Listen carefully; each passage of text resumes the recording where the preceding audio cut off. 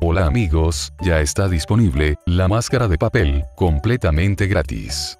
Para poder obtenerlo, primero mandaremos solicitud para unirnos a su grupo.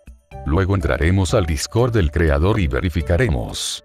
Buscamos el canal del chat general, para mandar al moderador Ken, nuestro usuario de Roblox. Una vez que nos acepten nuestra solicitud de unirnos a su grupo de Roblox, pasaremos el lobby, para reclamar nuestro accesorio.